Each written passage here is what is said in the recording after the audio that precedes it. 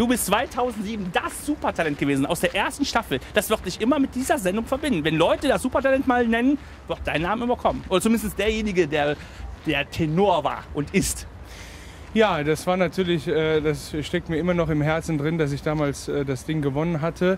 Äh, und wie man sieht, wir haben ja auch Sommer jetzt bald und ja, da kommen jetzt auch mal die etwas anderen Klamotten zum Vorschein, damit man sich nicht hier totschwitzen muss. Ja.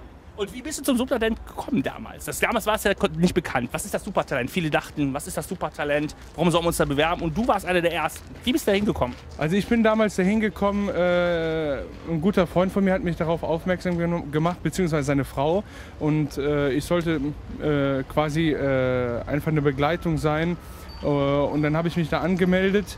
Und äh, es gab, gibt ja da immer eine, eine, eine, ein Forecasting. Also, und ich ging dahin und äh, habe ein Lied gesungen, was eigentlich so für in, in deutschen Kreisen eigentlich sehr unbekannt ist. Ein kleines Lied von, äh, von Tosti. Welches denn? Äh, Klassikkenner äh, würden das kennen. Das ist das Lied Avocella. Natürlich. Das, das, süße, das süße München übersetzt. Ach, das süße München? Ja. Und das ist ein wirklich sehr, sehr süßes äh, Lied. Und äh, den hat es äh, gefallen und ich bin dann weitergekommen. Ist denn, du hast denn irgendwann nach diesem Gewinn beim Supertalent hast du ja auch eine CD aufgenommen, ja? Genau. It's the beginning. Ja. Wie ist die denn eingeschlagen, die CD? Die CD ist ganz gut eingeschlagen. Sie ist dann von 0 auf, die, auf 22 mhm. gegangen. Äh, ich glaube sogar fünf oder sechs Wochen lang. Ja. Äh, und äh, das ist ganz gut oh. gewesen. Ja. Man muss ja dazu sagen, die Platte wurde innerhalb von äh, fünf bis sechs Tagen aufgenommen. Das war Ach so, du entschuldigst jetzt wieder dafür. War die so schlecht? Nein.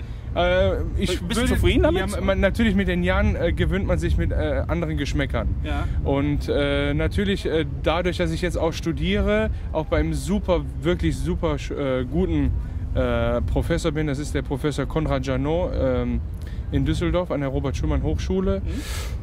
Und ich muss sagen, da hat sich auch wirklich stimmlich sehr viel äh, was getan. Und natürlich, wenn man dann die alten Aufnahmen hört, ist das schön und gut, aber dann möchte man natürlich das wieder neu machen mit der neuen Technik, mit allem. Und deswegen äh, war das, ist das heute so ein bisschen schwer, jetzt äh, wieder an diese CD zu glauben. Hä?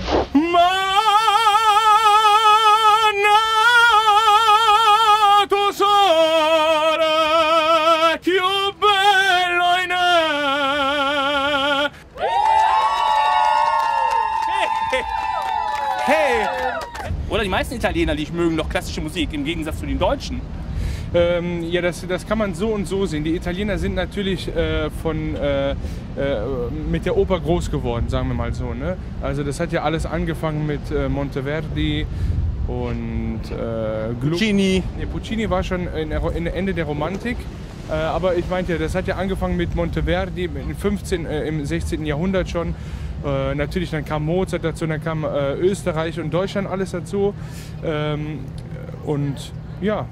Was Hast du eine Tour? Hast du eine Tour? Hast du eine CD? Äh, ich habe viele Konzerte, äh, keine, jetzt keine spezielle Tournee, aber ich habe Konzerte in der Hochschule und äh, auch äh, aus, auswärts von Düsseldorf natürlich. Aus?